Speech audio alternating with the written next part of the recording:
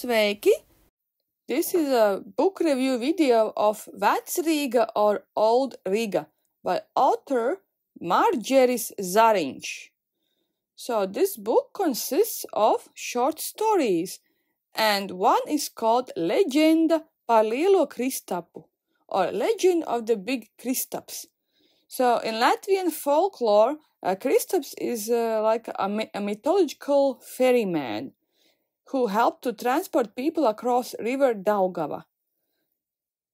And if anyone has been to places uh, like Riga, then there's, uh, well, these days there's a lot of bridges that uh, cars and people can cross, but it's referring to the period when there was no such thing, and for transport, people were reliant on someone with boats to transport us uh, people and even things like cows.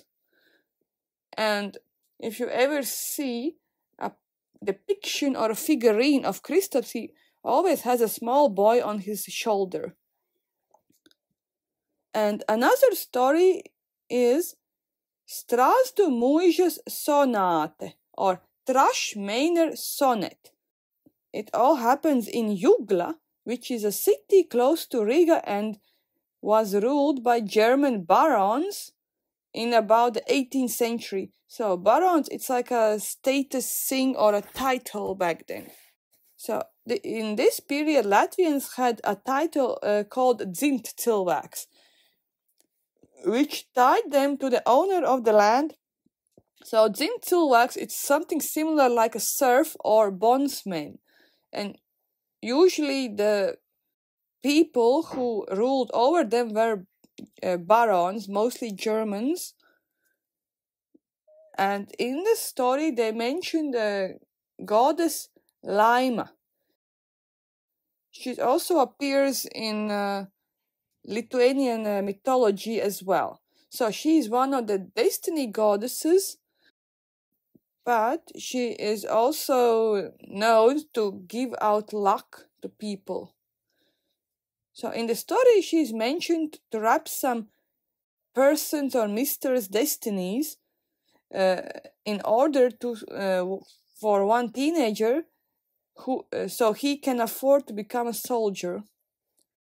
And another interesting episode in the story is when during Līgo celebration days, because in it's about uh, three days approximately where people celebrate Līgo or the midsummer solstice.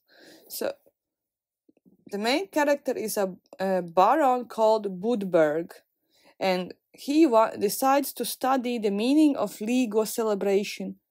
So he has like a bunch of friends helping him out. And one of them is a musician who is writing down the rhymes of folk songs he hears around. And his friends, like Haman, gives his thoughts and opinions.